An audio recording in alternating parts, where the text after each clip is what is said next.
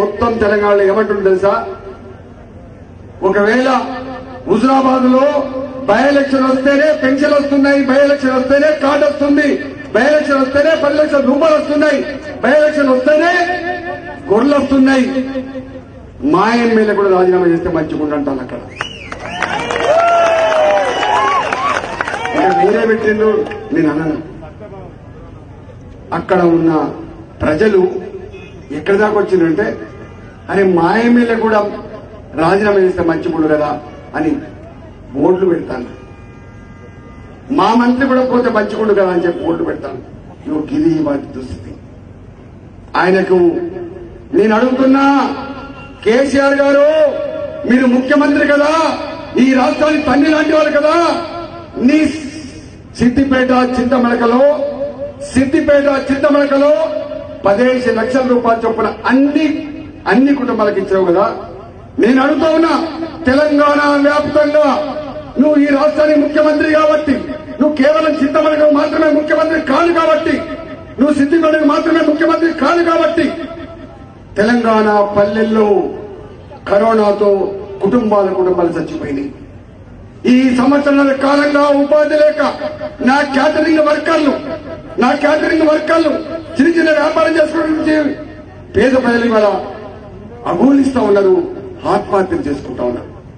నేను అడుగుతా ఉన్నా దళితుల కంటే కూడా దరిద్రంగా ఉంటారు ఉన్నారు. పెద్దమ్మలు ఉంటారు ఎలుకలు పట్టుకొని తినే వాళ్ళు ఉంటారు పిల్లలు పట్టుకొని తినే వాళ్ళు ఉంటారు సంచార జాతులు ఉంటారు వాళ్ళని కూడా ఆడుకునే సింధువులు ఉంటారు. నేను అడుగుతా ఉన్నా నీకు నిజాయితీ ఉంటే నీకు నిజాయితీ ఉంటే నీ దగ్గర లక్షల కోట్ల రూపాయలు నిజమైన డబ్బు ఉంటే ఈ రాష్ట్రంలో ఉన్న పేద కుటుంబాలకు పదేసి లక్షల రూపాయల చొప్పున ఇవ్వాలని చెప్పి నేను డిమాండ్ చేస్తున్నాను దానికి కులంతో సంబంధం ఉండద్దు. దానికి మతంతో సంబంధం ఉండద్దు. వాళ్ళు క్రిస్టియన్లు కావచ్చు ముస్లింలు కావచ్చు హిందువులు కావచ్చు వాళ్ళు యాదవులు కావచ్చు వాళ్ళు వాళ్ళు గౌడ్స్ కావచ్చు వాళ్ళు ఎస్సీలు కావచ్చు ఎవరైనా కావచ్చు పేదరికం పేదరికమే పేదరికం పేదరికమే. ఎంతో మంది భర్తలు కోల్పోయి చిన్న పిల్లలు వేసుకొని చేస్తుంది ఆ భార్య తల్లిగా. ఆమె జీవితం అంతా త్యాగమే చేస్తుంది. రెండవ మాట రెండవ మాట ఇలా కేసీఆర్ గారికి. ఇప్పుడే నేను కింద కూర్చున్నప్పుడు ఈయన ఫోన్లో చూస్తాడు మావాడు మా అమ్మ ఏమైంది తెలుసా అలా ఎంత గొప్పగా పోరాలంటే ఇవాళ దళిత బంధు రేపు బీసీల బంధు మద్దు. మదేనా? బీసీల బంధు ఎల్లుండి ఓసీల బంధు హుజరాబాద్ ఎన్నికల తర్వాత అన్ని బంధు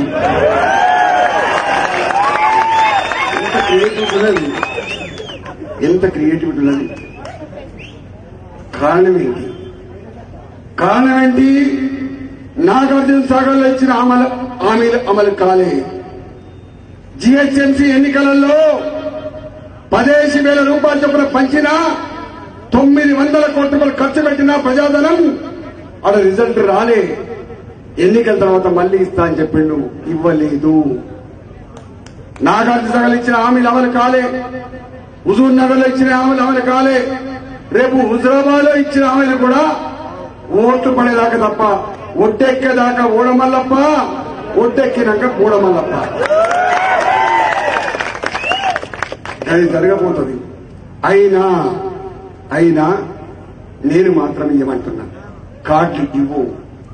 గొర్రె పిల్లలు ఇవ్వు. పెన్షన్లు ఇవ్వు. దళిత బంధు ఇవ్వు. రుణమాఫీ ఇవ్వు. ఇవ్వడానికి కారణం మాత్రం నువ్వు ఈ బిడ్డడే. లేకపోతే వచ్చేడియా? నా ఎన్నికలు లేకపోతే ఈ సర్పంచ్ పడే వారికి ఎవరు పిలుతుండే ఈ ఎంపీ డీసీలను ఎవరు పిలుతుండే ఈ జడ్పీడీసీలను ఎవరు పిలుతుండే ఏసీ బస్సులు పెట్టిన దళిత బిడ్డలు ఎవరు పిలుస్తుండే? మా అన్నల్ని మా తమ్ముల్ని ఇప్పుడే నేను సంతోషపడుతున్నా. మంత్రులకు ప్రగతి భవన్ ఎంట్రీ లేకుండే శోభకు నాకు తెలుసు. ఎమ్మెల్యేలకి ప్రగతి భవన్ ఎంట్రీ లేకుండే అపాయింట్మెంట్ లేదని. కానీ ఇవాళ మాత్రం ఒక్క దెబ్బకు ఒక దెబ్బకు ఏసీ బస్సులు వచ్చినాయి ప్రగతి భవన్ గేట్లు తెలుసుకున్నాయి.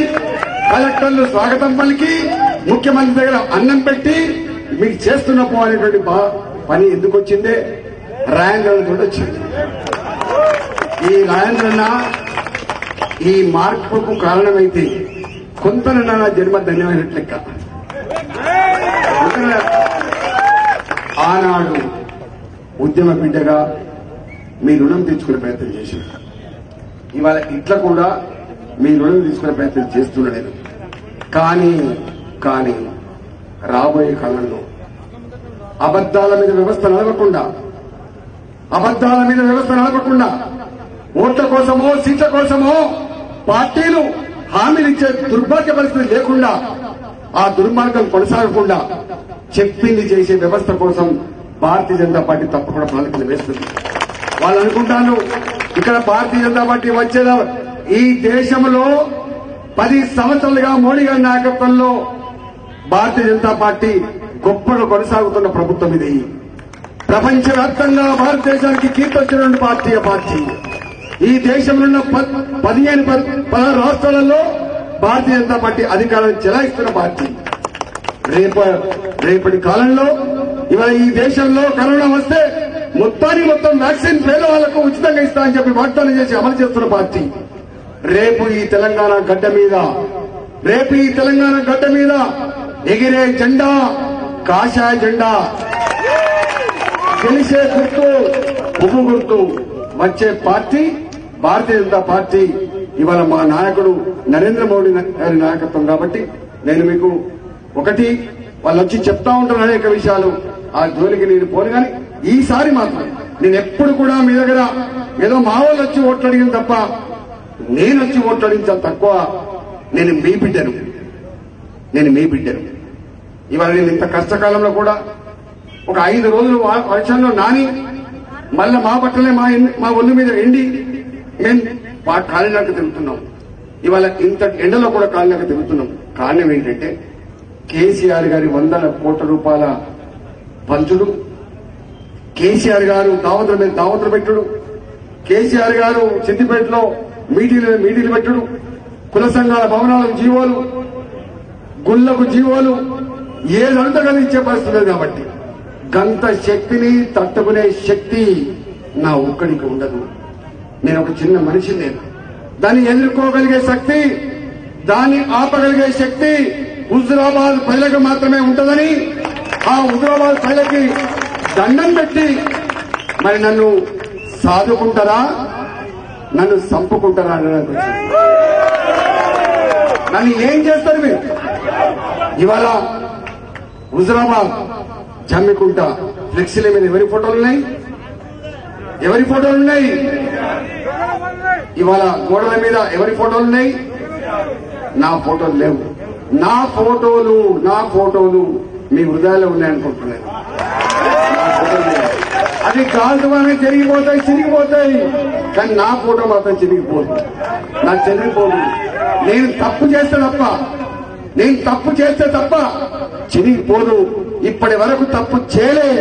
రాబోయే కాలం కూడా తప్పు చేయను. మీరు గర్వించే బిడ్డగా మీరు గర్వించే బిడ్డగా శబాస్ అని బిడ్డ అనిపించే బిడ్డగా రేపటి నా పని విధానం ఉంటది. నా పని విధానం ఉంటది. నా అనుభవం నా అనుభవం నాకున్నటువంటి ఈ పదాల నా పేదల బతుకుల బాగు కోసం తెలంగాణ రాష్ట్ర బాగు కోసం తప్పకుండా ఖర్చు పెట్టే ప్రయత్నం చేస్తానని మీకు హామీ ఇస్తూ నన్ను కులాలకు మతాలకు అతీతంగా నిండు మనసుతో ఆశీర్వదిస్తానని చెప్పి ఆశిస్తూ మాత్రమే ఇక్కడికి వచ్చిన కాబట్టి నేను ఇంకా పాదయాత్రలో ఇంకొక ఊరు కూడా పోవాల్సి ఉన్నది కాబట్టి అర్థం చేసుకుంటానని ఆశిస్తూ జై తెలంగాణ. జై తెలంగాణ. పువ్వు గుర్తుకే. పువ్వు గుర్తుకే. నరేంద్ర మోడీ గారి నాయకత్వం.